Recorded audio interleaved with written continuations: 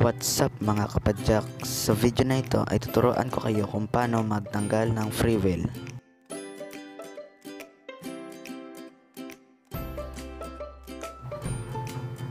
Step 1. Remove the rear wheel.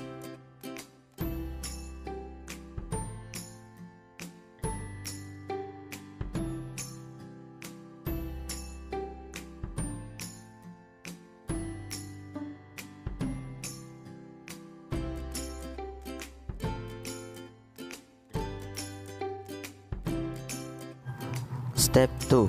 Remove the skewer. If you don't have a skewer, just remove the lock nut.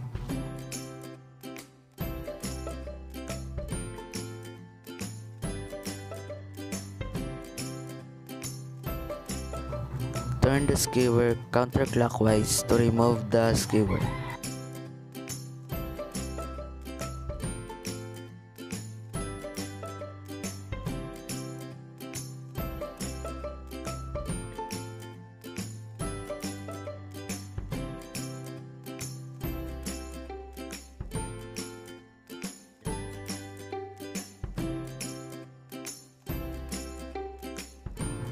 Step 3.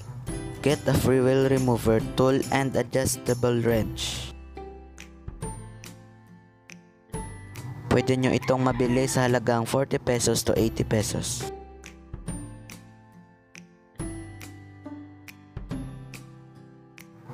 So, ito lang yung ginamit ko kasi yung adjustable wrench ko ay hindi kasya.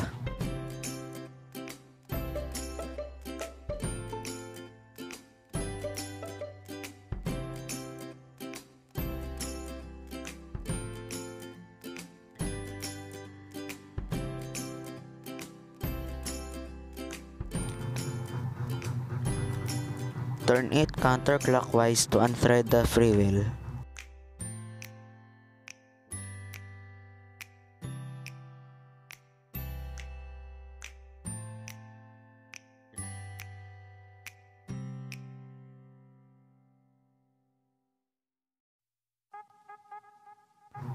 Kapag na-unthread nyo na ay pwede nyo na itong unthread ng gamit ng kamay.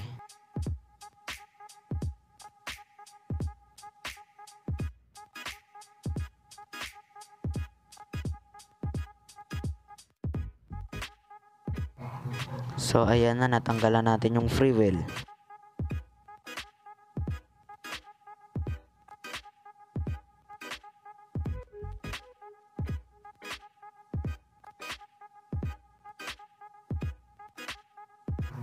Ito yung free wheel ko, 7 speed na steel na brown yung color. So ngayon gagawin naman natin ay ilagay yung free wheel or ibalik.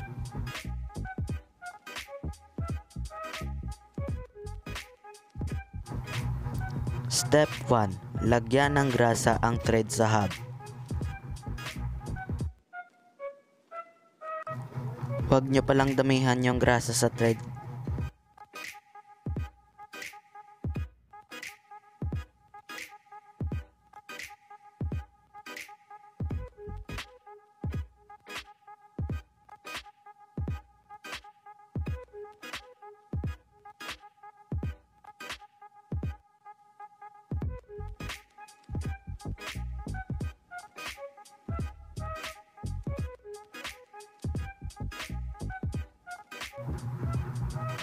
Also put some grease in the free wheel thread if you want.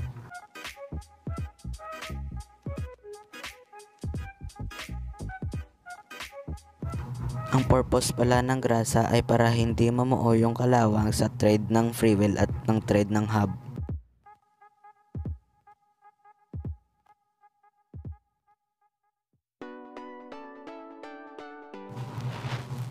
To thread the free wheel into the hub, turn the free wheel clockwise.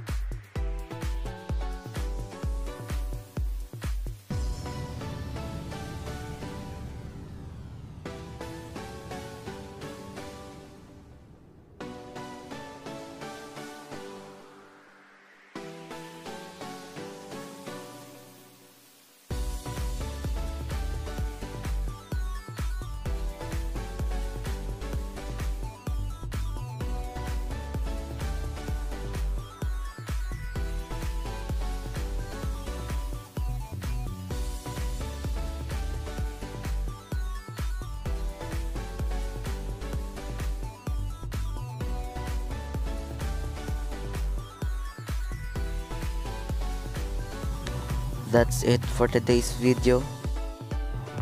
Please like, share, and subscribe. Hope you enjoyed this video and see you next time.